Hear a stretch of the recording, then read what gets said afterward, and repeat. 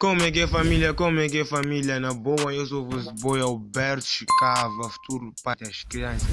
Eu trago uma informação que está ligado ao Manchester United e CR7, não é?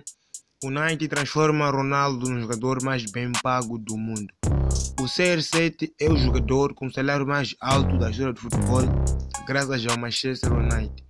O português ganhará nessa temporada 107 milhões de euros brutos. É, parecia que Messi ia ser o grande negócio do verão, mas o retorno de CR7 ao Manchester United ofuscou muitas outras movimentações na Europa e Ronaldo voltou a colocar o clube nos holofotes do mundo inteiro.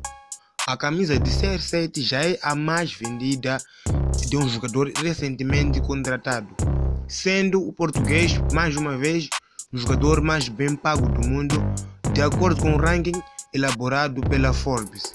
CR7 vai faturar 107 milhões de euros bruto nesta temporada, com um salário próximo nos 60 milhões de euros e 40 milhões em patrocínios associados à sua marca pessoal, a começar pela Nike.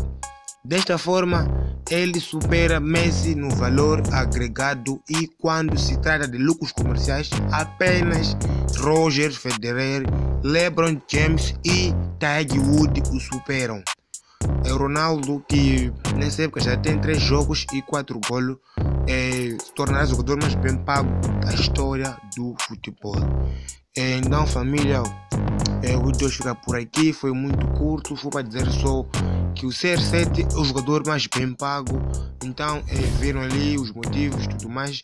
Até ao próximo vídeo. Não esqueça de compartilhar o canal, se inscrever, comentar no, no vídeo. Shout out é nóis. E muito obrigado pelo inscrito a todos que estiveram no canal.